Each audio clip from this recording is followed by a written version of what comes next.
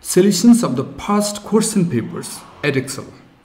You will get here past question papers, correct answers, marks distribution, discussion, mistakes to lose marks, advice, creativity, all things together in the same platform. Let's start.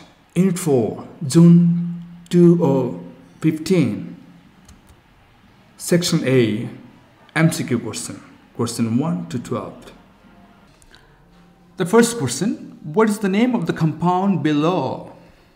Look at the compound, consists of four carbon atoms. So this is but.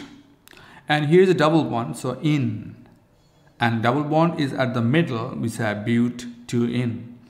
And for the position of iodine, we should count from right to left because iodine is closer to the rightmost carbon.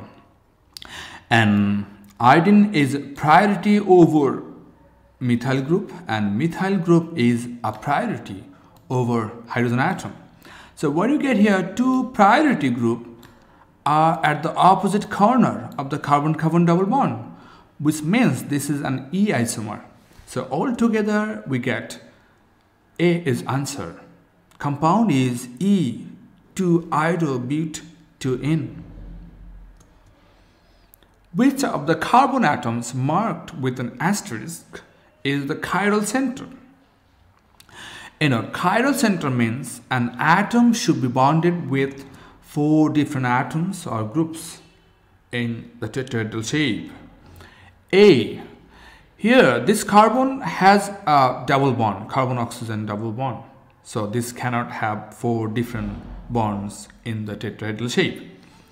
Now is B, in B you get two bonds are missing which are carbon hydrogen bond. So two uh, of the same bonds so cannot be chiral center. Yes, C is answer because here's a methyl group and this side and the side above are clearly different. Another atom missing here which is hydrogen.